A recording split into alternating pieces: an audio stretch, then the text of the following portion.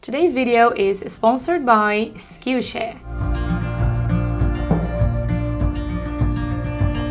The world could fall down, it's gonna be okay. The sun could go out, we're gonna be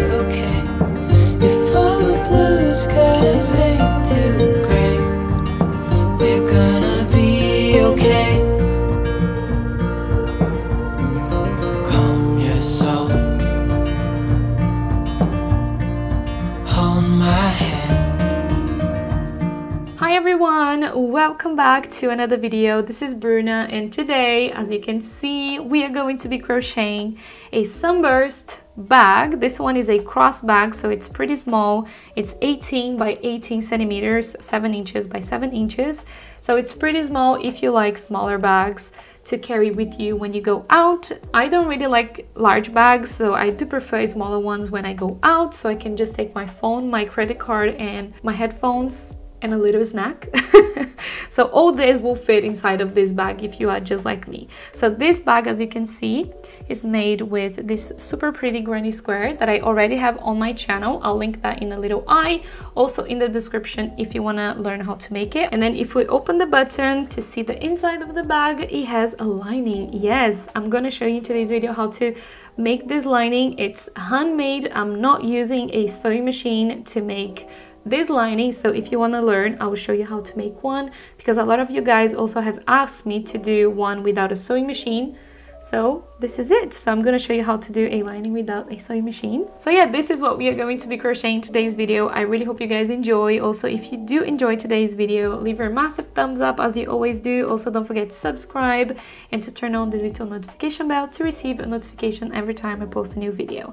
So I really hope you guys enjoyed today's video. So now let's begin with the tutorial. So here we have all the materials we are going to be using for today's project, starting with our yarn here. So these are the three shades that I'm going to be using.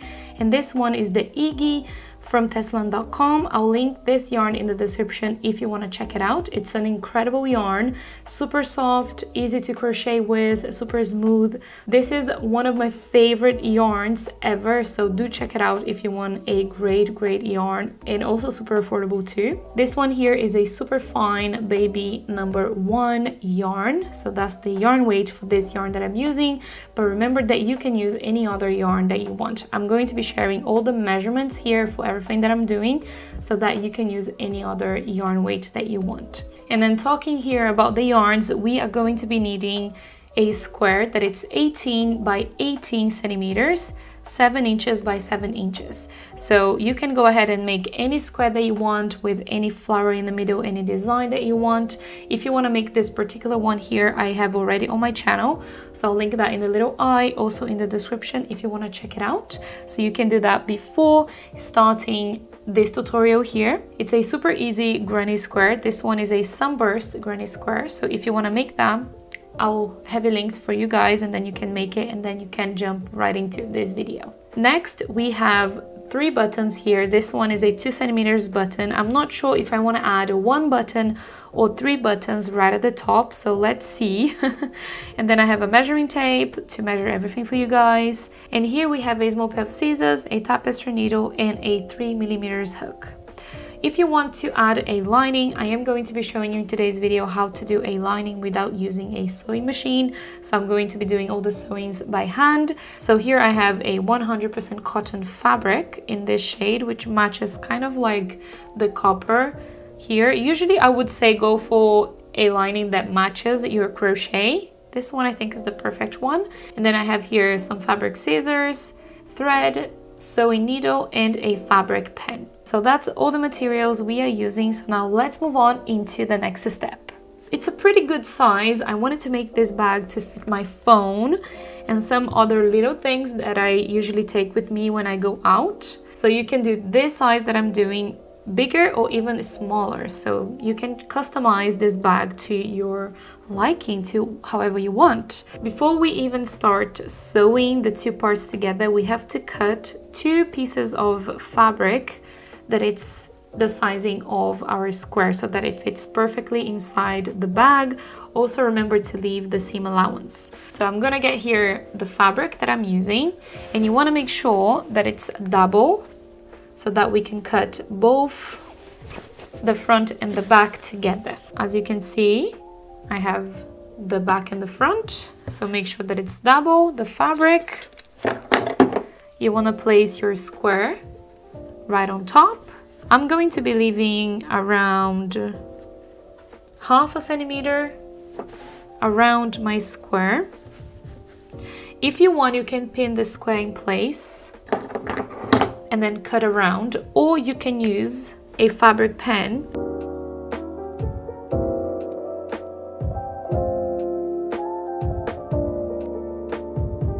All we have to do is to cut around, remembering to leave the seam allowance.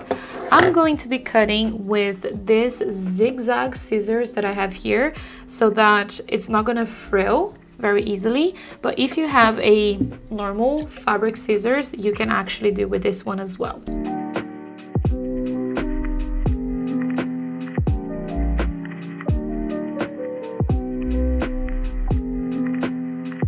So here we have the back and the front of our lining, as you can see. I will come back to this. For now, we can just leave this at a side and we can move into crocheting the actual bag. So have the back and the front squares completed and ready to start sewing. Make sure that you also do the weave-ins at the back so you can already move on into the next step and you don't have to do that right at the end before you attach your lining. So I'm going to be having my squares with the right side on the outside.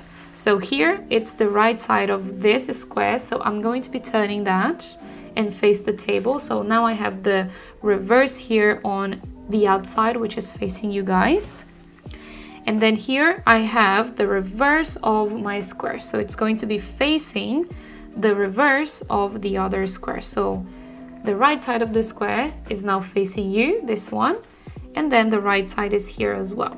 So what we are going to be doing now is create a single crochet row going all the way from this side bottom and to the other side so that we can join the squares together. If you want to do a sewing instead of what I'm going to be doing because I want kind of like a single crochet row on the outside so it creates kind of like a detail. So for the outside of my bag I want to do with this beautiful copper yarn. So the first thing you want to do is to create a slip knot and we are going to be attaching this yarn into any of the corners that you want. I'm going to be doing this one here. So we are going to go right in between the shell, right on top of the chain two. So go through this corner and then the other one from the back and then you're going to pull up a loop. And then you're going to be yarning over and pulling through both loops on the hook. So creating a single crochet just to start the joining of the squares. And then right here I'm going to be making another one going through the chain two. So we have two single crochets inside the chain two space. And remember that we are grabbing the two parts together. So now we are going to be starting to follow the stitches that we have here. So first you're going to be finding the very first stitch. So here we have the three double crochets. So the very first one from the front and then the other one from the back and creating a single crochet. Going to the next one from this side and then from the other and single crochet. And then the next one from the front and the other one from the back and single crochet. When you get into the chain one spaces you're gonna go around it like this and then creating a single crochet. Exactly how we did with the chain two here. And then here we have already the stitches that we can see and then you're just going to be following the same steps. So I'm going to be doing all the way to the bottom and then I'll get back to you when I'm here so I can show you what to do at the bottom of the bag. So as you can see, I have finished the single crochets on this side. So now we are going to move on into the bottom of the bag. So when you get to the bottom corner, all you have to do is to create two single crochets inside the chain two. Exactly the same as we did to the beginning here. And then from here you're going to be following exactly the same as we were doing on this side.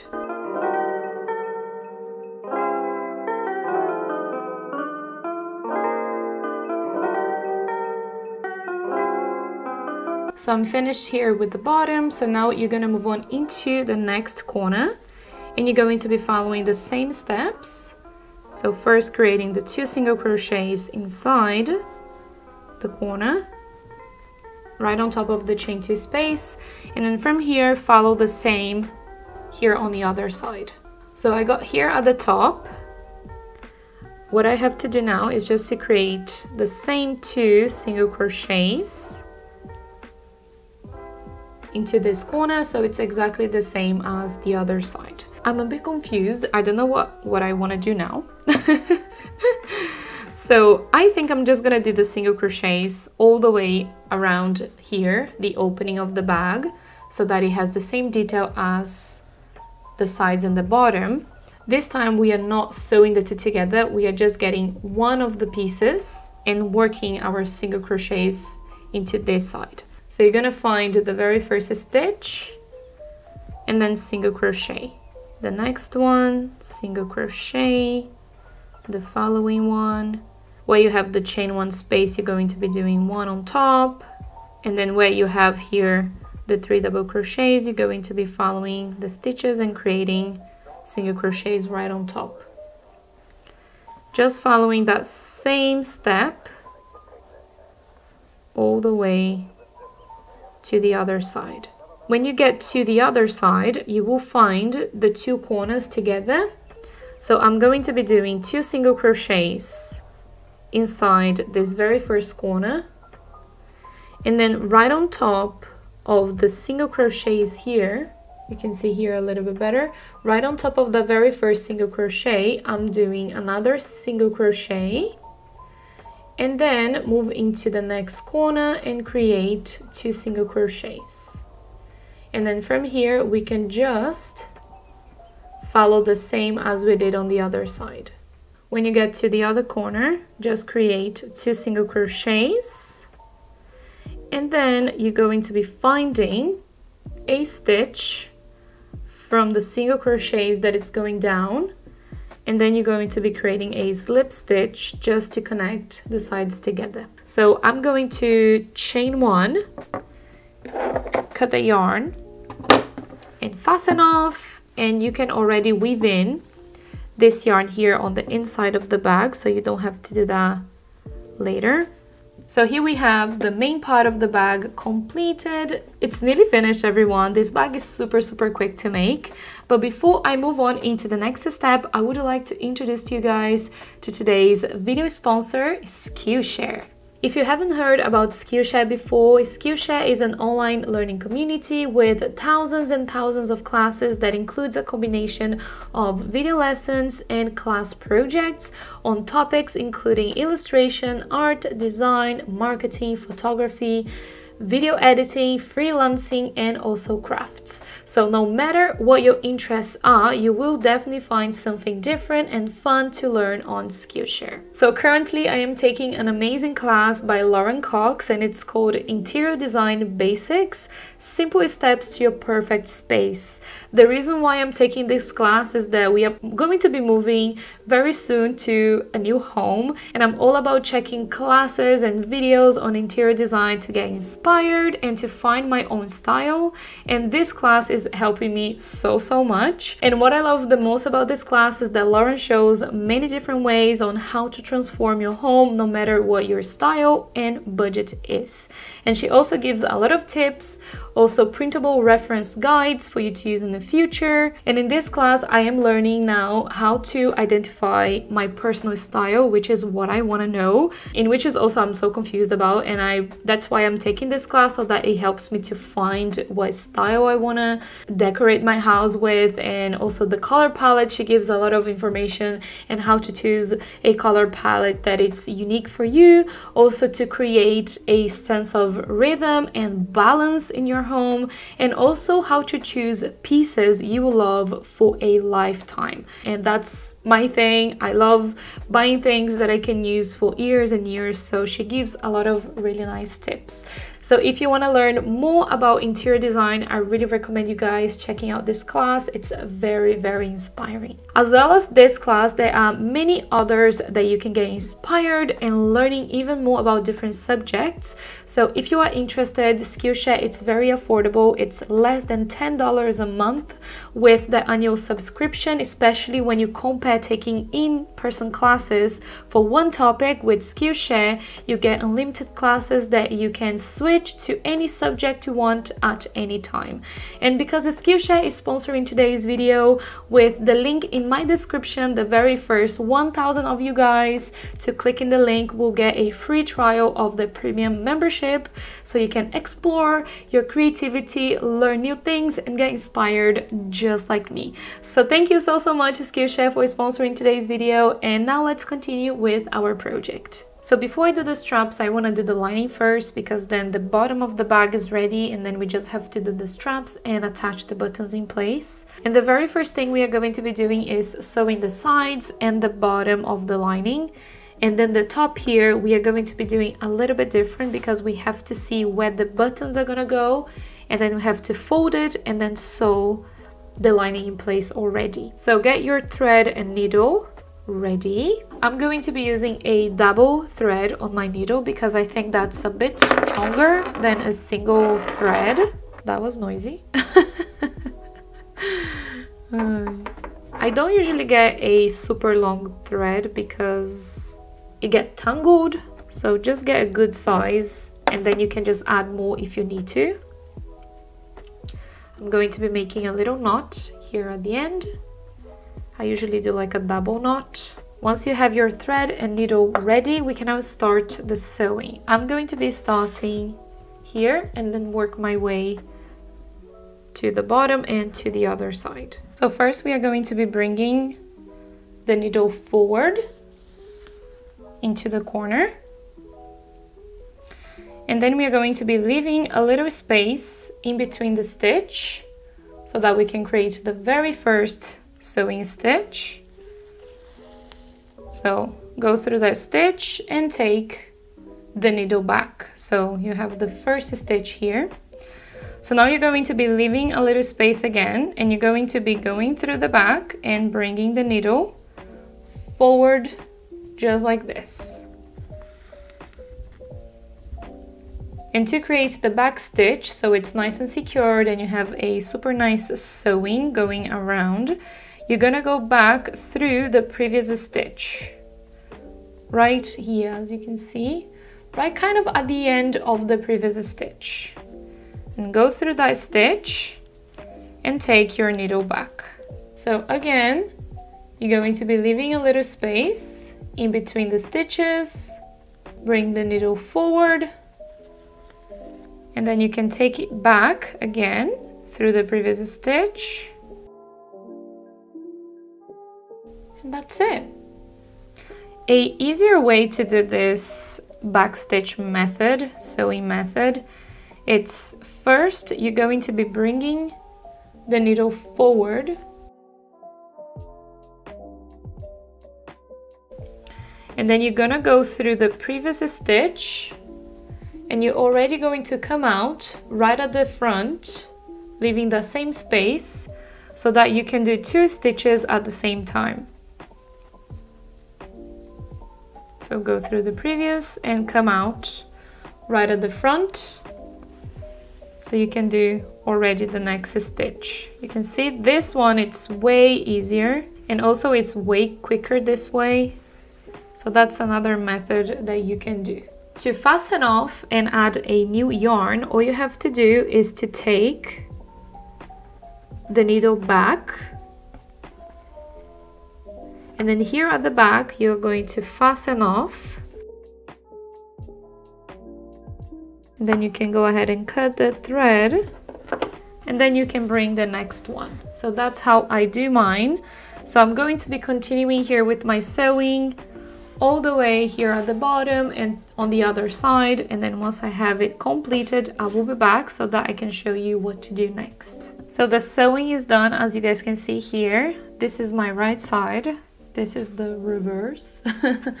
it takes a little bit of time to do this because it's by hand.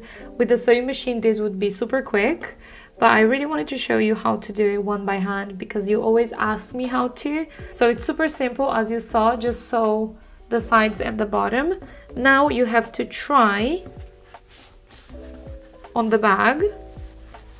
So just make sure that it fits inside the bag. As you guys can see, it fits perfectly.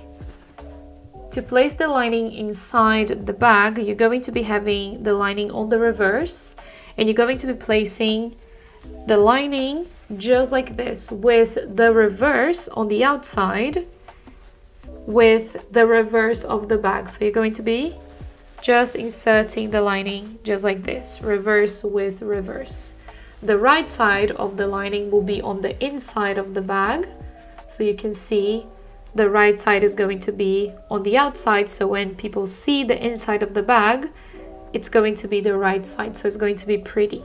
So once you have your lining ready and that it fits inside the bag, now we are going to be sewing the lining on the inside of the bag here. I want to leave a little space right here at the at the top, maybe two rows, so that I can add the buttons. So I think I'm going to be doing that much. So I am folding here at the top around three centimeters so that it can go nicely inside the bag. So once you know exactly how much you have to fold, just insert the lining back inside the bag. I'm gonna be using some pins, I think. Yeah, because it's gonna help me to sew this in place. Put the lining exactly where you're going to be sewing. And then you wanna pin the lining in place with the bag just like this and I'm going to be doing it all the way around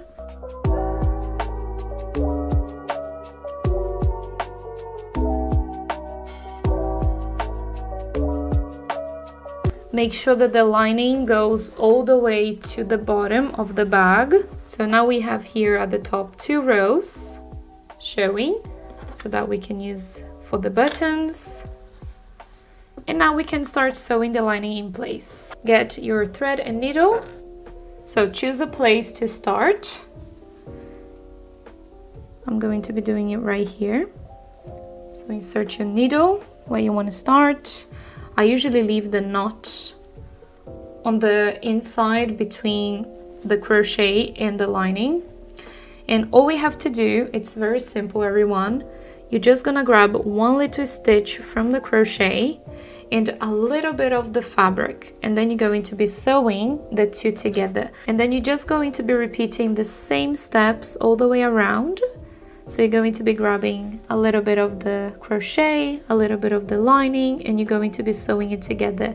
For this part you want to have a lot of patience because you want to make very tiny stitches. You don't want to to do large stitches when sewing because you don't want the sewing to show right at the top of the lining. So you want it to do as seamless as possible so I am doing very tiny sewing stitches going around here my lining at the top so now I'm just going to be continuing here with my sewing and then I'll meet you right at the end to show you how to fasten off once you are done with the sewing, we are just going to now fasten off and cut the thread. That's the last thing you have to do for the lining. How fun! I'm going to be using the same thread here, this one, to sew my buttons in place. So here we have the bag with the lining completed. As you can see, it looks really, really good. I really liked it doing it by hand. It was long but fun at the same time. so now I'm going to be attaching my buttons in place before I do the strap because I have the yarn ready here So I'm not sure if I do three buttons or only one. Maybe just one button? Maybe two? Three? So I'm gonna do one button for now. I decided that I wanna do one button and then maybe when I'm wearing it, if I need to add two more, then I can. But for now, I'm just gonna do one. So I'm gonna go right in the middle of my bag. So it's one, two, three, four, the fifth stitch. So right here, so I'm gonna go ahead and sew this button in place.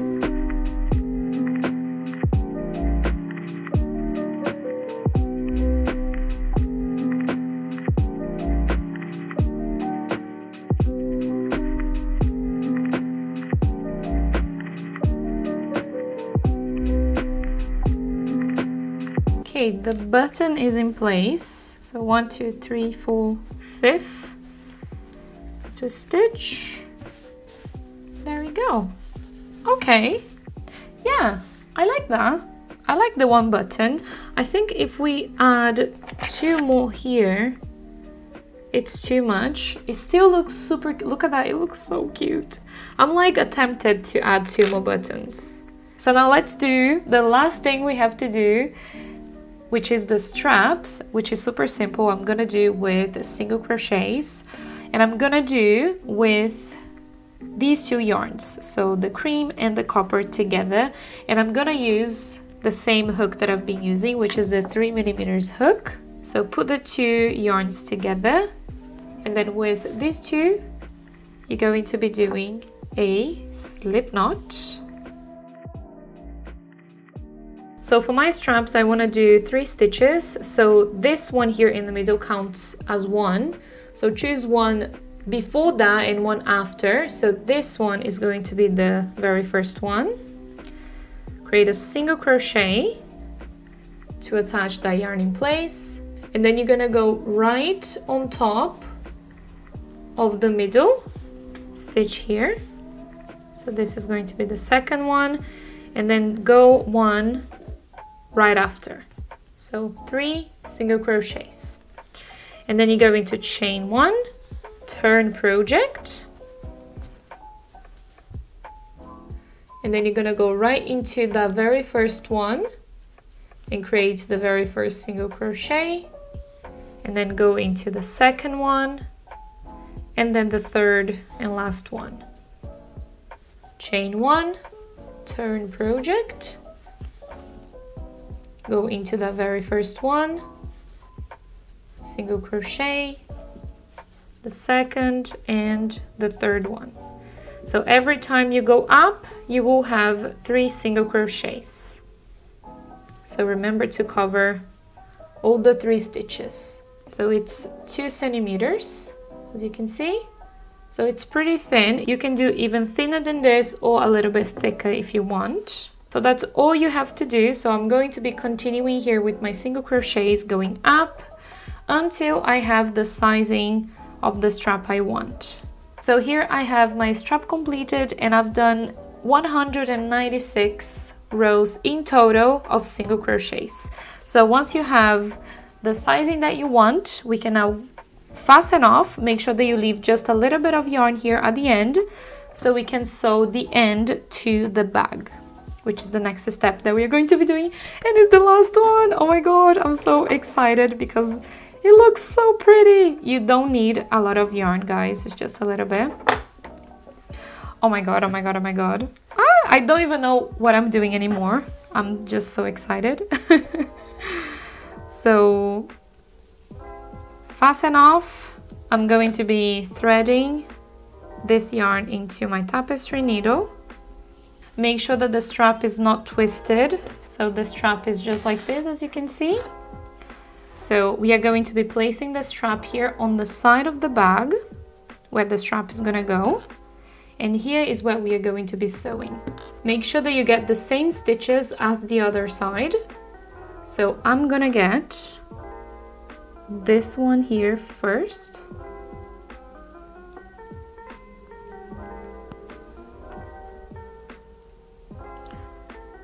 And I'm just gonna go through that stitch one more time grabbing the very first stitch here from the strap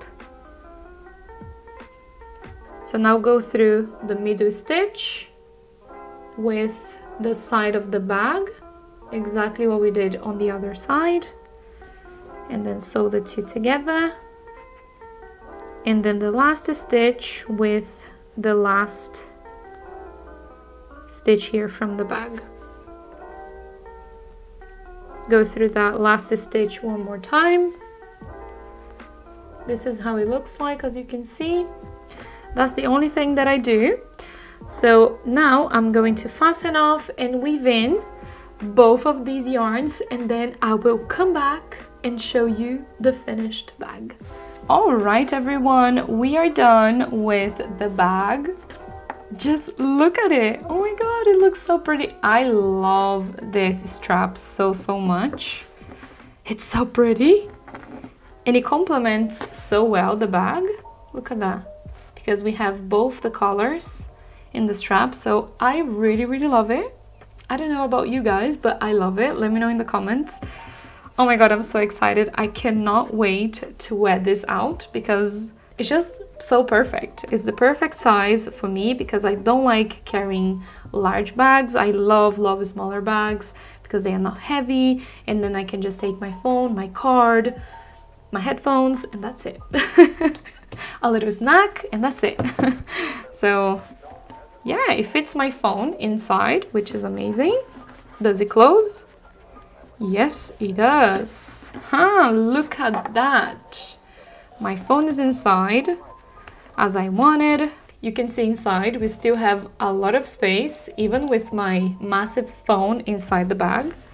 So yeah, pretty good size. So yeah everyone, we are done with today's tutorial. As you can see, this is how the bag looks and I'm pretty happy on how it turned out.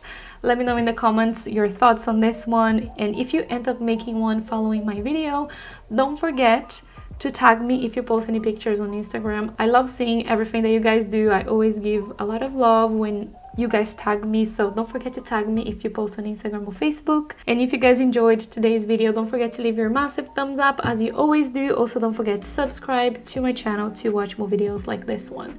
So thank you everyone for watching today's video and I'll see you next week. Bye